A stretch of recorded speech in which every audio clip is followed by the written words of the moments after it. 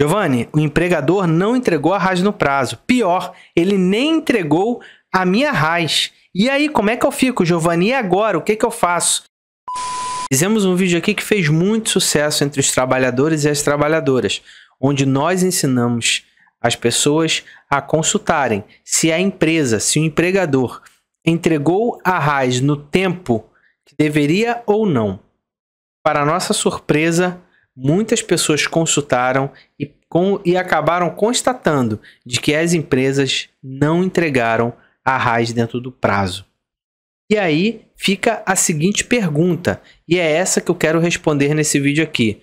Giovanni, RAS não foi entregue pelo empregador. E agora? E aqui também, claro, se, se adequa perfeitamente. Giovanni, a RAS foi entregue depois do prazo. E agora?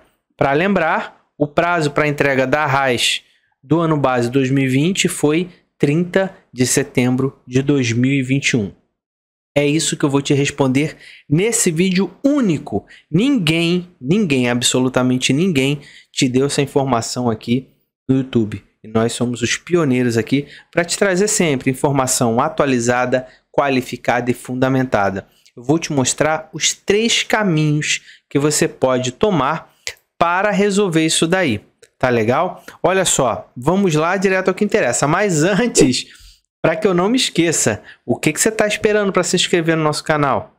Pelo amor de Deus, por favor, se inscreva no nosso canal, curta, comente, compartilhe. Não deixe de ser generoso. Compartilhe essas informações com o máximo de pessoas que você puder. Beleza? Vamos lá direto ao que te interessa. Olha aí, a gente vai começar por aqui. Trabalhador precisa constar é, da relação anual de informações sociais para ter direito ao abono salarial, além de ter trabalhado com carteira assinada.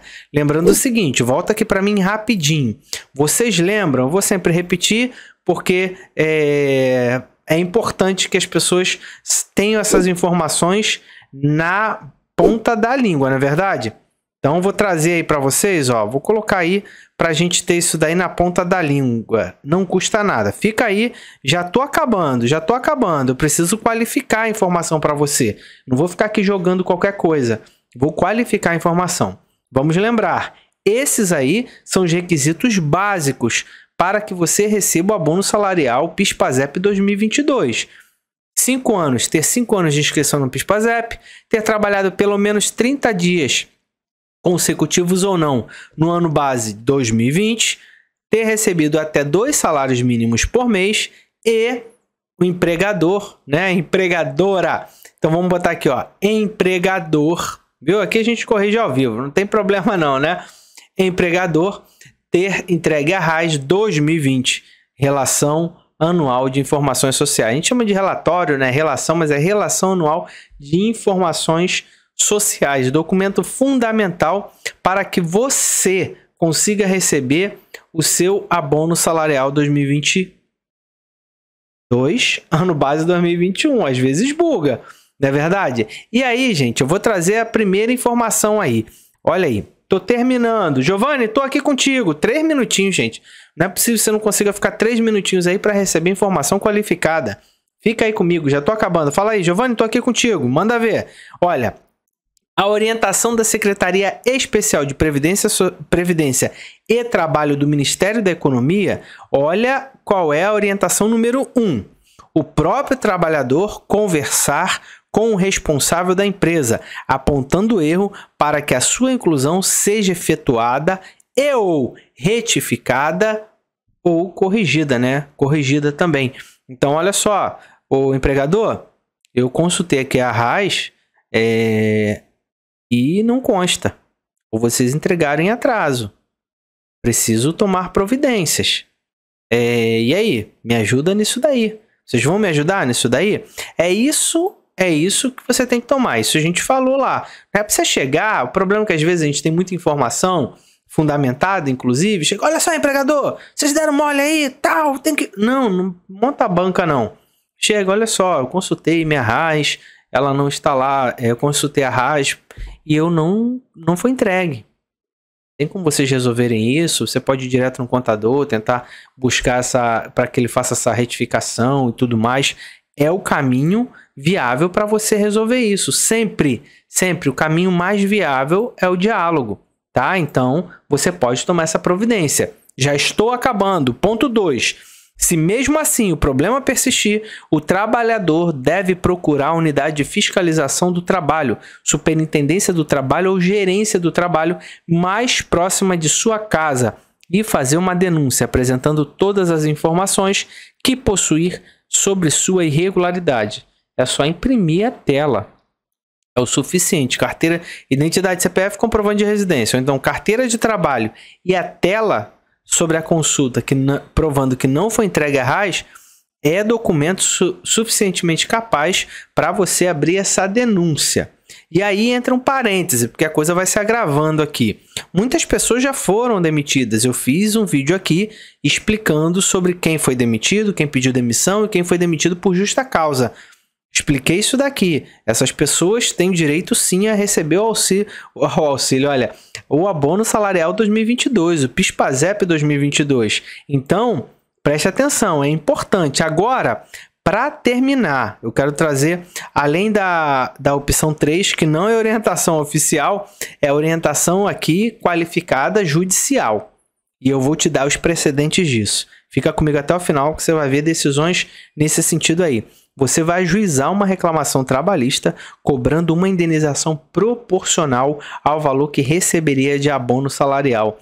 Gente, isso aqui é ouro. Ninguém, absolutamente ninguém, até agora te falou isso. Ninguém. A gente está aqui qualificando a informação, te fundamentando, é, fundamentando a informação e atualizando você sempre. Esse canal aqui é para você. Aqui a gente te respeita. Tá bom? Então eu já vou te dar os dois precedentes aí, te explicando essa minha orientação jurídica. Tá legal? Vamos lá. Ah, importante. Para você entrar com uma ação é, até um salário mínimo, dois salários mínimos ali, na, no caso do abono salarial é um salário mínimo. Na Justiça do Trabalho, você não precisa de advogado. Legal, né? Então, você só vai pegar essa fundamentação que eu te der e a, a, denúncia que você fez lá na secretaria, na superintendência lá é, do trabalho aí da sua cidade, e falar, olha, eu quero receber o meu a indenização do meu abono salarial 2022 ano base 2020. Sensacional, vou te mostrar aqui. Gostou dessa informação? Fala aí, Giovanni. Show de bola, gostei, valeu, meu irmão. Coloca aí pra gente e ajuda a gente a compartilhar isso daqui, a disseminar a verdade e a informação qualificada. Essa é a nossa missão aqui. Agora, olha aí. Eu estou trazendo para vocês a punição. Qual a punição para a empresa que não entrega a RAIS? E aí, você pode pegar esse vídeo também e mostrar lá para o contador, para o dono da empresa. Ô, meu amigo, assiste isso aqui. Você precisa assistir isso aqui. Olha só, deixar de informar o trabalhador na relação anual de informações sociais, o empregador comete infração trabalhista passível de autuação e, ó, pela Auditoria Fiscal do Trabalho. Tá aqui a portaria, eu não vou ler para vocês. Eu falei, informação qualificada, fundamentada. Tá aqui. Olha aqui, a ser cobrada, né? Cobrado é, em valores monetários a partir de 425,64, acrescidos de 53 por bimestre de atraso. Tá aqui. Tá aqui a, fu a, fundamentação, certo? E por último aqui, olha, se a empresa utilizar, eu vou te trazer a fundamentação do que eu te dei agora do ajuizamento da ação trabalhista, para você negociar também com seu empregador. Isso aqui é ouro, gente, compartilha e fala para mim aí se realmente isso aqui valeu a pena, se valeu a pena você ficar aqui comigo. Olha aí, se a empresa atualizar RAIS, ainda que em atraso, o, o empregador conseguirá fazer o saque do abono a que tinha direito? Sim, gente. Sim. Tá? Em ca... Olha, em cada calendário de abono, abono salarial processada, os dados ano base e as retificações, declarações dos últimos cinco anos. Nesse caso, os pagamentos ocorrem junto com o pagamento realizado do, é, no calendário atual. Fala para mim, Fala para mim que isso daí não é informação boa demais. Agora, vou trazer para vocês a fundamentação. Eu te prometi e tá aí. Você vai mostrar esse vídeo para ser empregador, empregador. Poxa, ó, pelo amor de Deus, sensibilidade. Olha isso daí, tá? Você tem precedente. Seu, seu empregado aí, seu funcionário tá te, tá, está te trazendo precedentes judiciais. Olha aí, indenização do PIS/PASEP, ausência de cadastramento e ausência de informação na RAIS. Direito à indenização. A falta de cadastramento no programa PIS/PASEP e a omissão na prestação de informações na RAIS dão ensejo ao pagamento de uma indenização substitutiva pelos prejuízos causados ao obreiro decorrente desta omissão. Olha esse dois aí prestação de informação acerca do contrato de trabalho, relatório anual de informações sociais, não comprovação. É obrigação do empregador, tendo em vista inclusive o princípio da aptidão da prova, comprovar que prestou as informações acerca do contrato de trabalho no relatório anual de informações sociais, a fim de habilitar o empregado à percepção do abono salarial, uma vez preenchidos os requisitos constantes no artigo 9 da Lei 7998 de 90. No caso, a reclamada não apresentou qualquer documento comprobatório de que forneceu anualmente e no prazo legal a relação de informações sociais, sendo forçoso reconhecer que a sua omissão neste particular já foi suficiente para causar prejuízo ao reclamante impondo-se a manutenção da sentença que a condenou ao pagamento de indenização substitutiva. Pregador, vai dar esse mole? Tá aí, gente. Informação dada. Espero ter conseguido te ajudar. Aqui você sabe, cidadania na veia. Obrigado, queridos. Não se esqueça de compartilhar. Um grande abraço e até nossos próximos vídeos. Tchau.